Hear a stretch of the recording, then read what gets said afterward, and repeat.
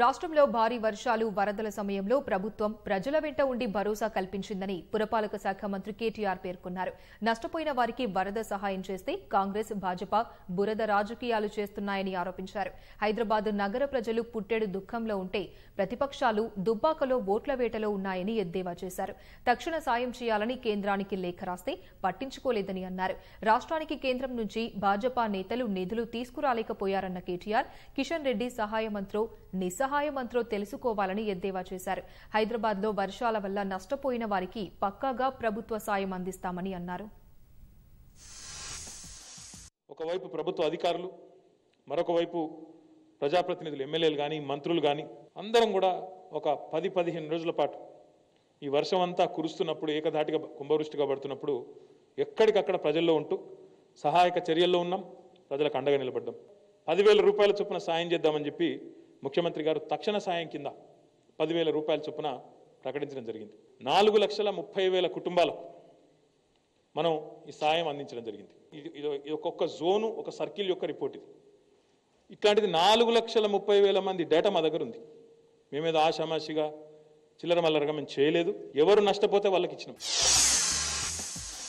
మేమేమో వరద సహాయం చేస్తూ ప్రజలకు అండగా ఉంటే మా కాంగ్రెస్ బీజేపీ మిత్రులేమో బురద రాజకీయం చేస్తూ ఉన్నారు? పుట్టెడు దుఃఖంలో ఉన్న ప్రజల కండగా మేముంటే దుబ్బాకలో ఓట్ల వేటలో వీళ్ళున్నారు. వీళ్ళకు మాకు తేడా గది. ప్రజలు అడగలేదు ప్రతిపక్షాలు అడగలేదు.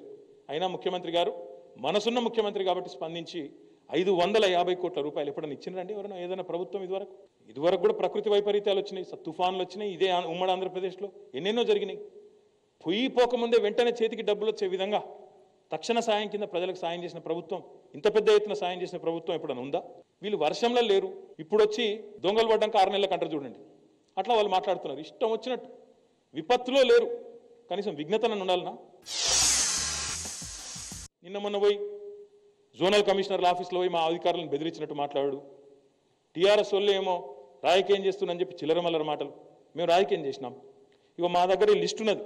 నాలుగు లక్షల ముప్పై వేల కుటుంబాలకు ఎవరెవరికి సాయం చేసినామో మా జిహెచ్ఎంసీ కమిషనర్ దగ్గర మా డైరెక్టర్ మున్సిపల్ అడ్మినిస్ట్రేషన్ దగ్గర మొత్తం లిస్ట్ ఉన్నది. పోయి చూసుకోండి. సైదాబాద్లో మొన్న హైదరాబాద్లో ఒక బీజేపీ కార్యకర్త ఆయనకు ఆయన ఇంటికి పోయి మా వాళ్ళు అధికారులు పోయి సాయం చేసినారు పదివేల రూపాయలు. ఆయన పేరు అభిషేక్. ప్రభుత్వం ఇచ్చిన సాయం తీసుకున్నాడు ఫోటో దిగిండు తెల్లారు పోయి ధర్నాలో కూర్చున్నాడు. గింత చిల్లర రాజకీయమా? గింత దిగజారుడు రాజకీయమా? అంటే కర్ణాటకకు ముఖ్యమంత్రి ఉత్తరం రాసిన నాలుగు రోజుల లోపల ఆరు వందల అరవై తొమ్మిది కోట్లు రిలీజ్ చేయొచ్చు. గుజరాత్కు ముఖ్య ప్రధానమంత్రి గారు స్వయంగా పోయి వెంటనే ఐదు వందల కోట్లు విడుదల చేస్తారు. తెలంగాణ ముఖ్యమంత్రి ఉత్తరం రాసి అక్టోబర్ పదిహేను నాడు విజ్ఞప్తి చేస్తే మొత్తం నష్టం ఎనిమిది వేల ఎనిమిది వందల కోట్లు అయింది కానీ తక్షణ సాయం కింద పదమూడు వందల యాభై కోట్లు విడుదల చేయండి. హైదరాబాద్ నగరానికి ఒక నాలుగు వందల అరవై ఐదు కోట్లు విడుదల చేయండి అంటే నలుగురు ఎంపీలు ఉన్నారు బీజేపీ వాళ్ళు ఇక్కడ. నాలుగు పైసలు తెచ్చిండ్రా? కిషన్ రెడ్డి గారు ఉన్నారు సహాయ మంత్రి. వారు సహాయ మంత్రా నిస్సహాయ మంత్రా నాకే తెలియదు వారే తెలుసుకోవాలి? ఎందుకు మాటలు ఎందుకు ఇక్కడ ఉండి డైలాగులు ఎందుకు? నలుగురు ఎంపీలు ఒక సహాయ మంత్రి అందరూ ఉంటారు. నాలుగు పైసలు తెలియరు మీరు మాత్రం ఇంకా హైదరాబాద్ మన మన హైదరాబాద్ మన బీజేపీ. ఇది స్లోగన్. ఇక కాంగ్రెస్ వాళ్ళు వాళ్ళ గురించి ఏం మాట్లాడినా కూడా అర్థమవుతలేదు ఇక వాళ్ళను సీఎం గారు మాటలు చెప్పాలంటే నాదాన్ దుష్మన్ అంటారు చూడు. అట్లా అయిపోయింది వాళ్ళ పరిస్థితి. మొన్నటిదాకా దుబ్బాకల మునిగి తేలిండ్రు. ఇక అక్కడ ఏమొస్తుంది డిపాజిట్ అయితే రాదు పక్కా. ఇప్పుడు వచ్చి మళ్ళీ ఇక్కడ కూడా ఇష్టం వచ్చినట్టు మాటలు. ఇలా హైదరాబాద్లో వరదలు వచ్చినాయి హైదరాబాద్లో నీళ్ళు వచ్చినాయి నాలాల మీద ఆక్రమణలు ఉన్నాయి చెరువుల మీద ఆక్రమణలు ఉన్నాయని చెలరేగిపోయి మాట్లాడుతున్నారు వీళ్ళు. ఎప్పుడు వచ్చినాయి ఇవన్నీ? ఈ ఆరేళ్ళలో మొత్తం వచ్చినాయా? మేమున్నప్పుడు వేసిండ్రా కిర్లోస్కర్ కమిటీ? మీరున్నప్పుడే వేసిండ్రు. ఇరవై ఎనిమిది వేల ఆక్రమణలు ఉన్నాయి నాలాల మీద అని చెప్పింది కిర్లోస్కర్ కమిటీ ఎప్పుడు? కాంగ్రెస్ ప్రభుత్వం ఉన్నప్పుడే. మరి అప్పుడు లేవు ఆక్రమణలు? వరద వల్ల ఇబ్బంది పడ్డ ప్రజలకు నేను విజ్ఞప్తి చేస్తా ఉన్నా. ఈ ప్రభుత్వం మీ ప్రభుత్వం. ఐదు వందల యాభై కోట్లు ఇప్పటికే మీకోసమే ముఖ్యమంత్రి గారు కేటాయించినారు.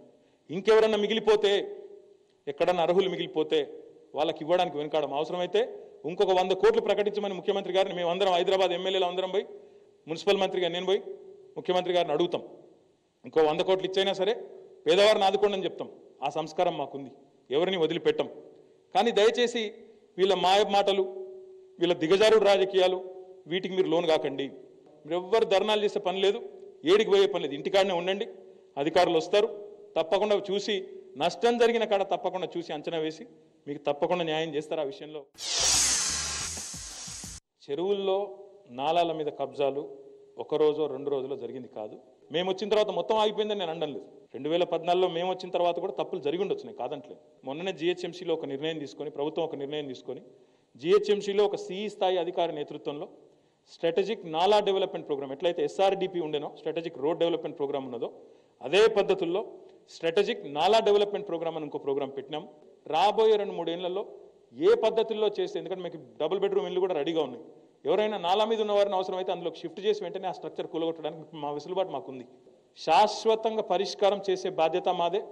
తక్షణ ఉపశమనం కింద ప్రజలకు అండగా నిలబడే బాధ్యత కూడా మాదే. గత ప్రభుత్వాలు అని చెప్పి నింద మోపి నేను తప్పించుకోను డెఫినెట్గా గత ప్రభుత్వాలు తప్పు చేసినా సరిదిద్దాల్సిన బాధ్యత మా మీద ఉంది ఆ దిద్దే బాధ్యత మేము తీసుకుంటామని చెప్పి కూడా హైదరాబాద్ ప్రజలకు నేను విజ్ఞప్తి చేస్తాను